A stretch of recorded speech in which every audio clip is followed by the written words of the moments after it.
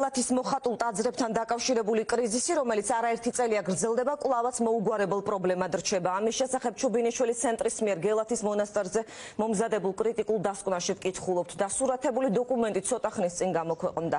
დასკვნა ცენტრმა მართლმადიდებელი ეკლესიის მიმართვის საპასუხოდ მოამზადა, როგორც ირკვევა ექსპერტებმა შეისწავლეს კონსერვაციის დოკუმენტაცია და მიმდინარე წლის 20 იანვარს პირადად იმყოფებოდნენ გელათში, სწორედ ახლახანს გადაღებულ ფოტოებს აქვეყნებენ.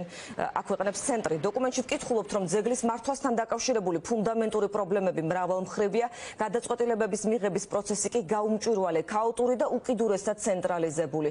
ჩობინიშვილის ცენტრი თავის ანგარიში ამბობს, რომ თეა წულუკიანის მინისტრობის პერიოდში დაქირავებული იტალიური ასოციაციის მიერ შემოთავაზებული მეთოდოლოგია და წარმოებული სამუშაოები უკიდურესად ნეგატიურად არის შეფასებული და მსოფლიოს წამყვანი ექსპერტების აზრით, მოხატულობის მდგომარეობის მეტი დამძიმებისა და დამატებითი დაზიანების თავიდან ასაცილებლად დასახული გეგმის დაუყოვნებლივ შეცვლა იყო საჭირო.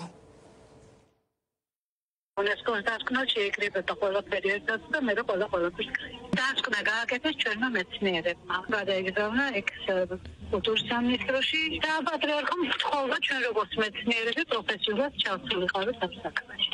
ყველაზე უფრო მწვავე რა თქმა უნდა ფერწერაა.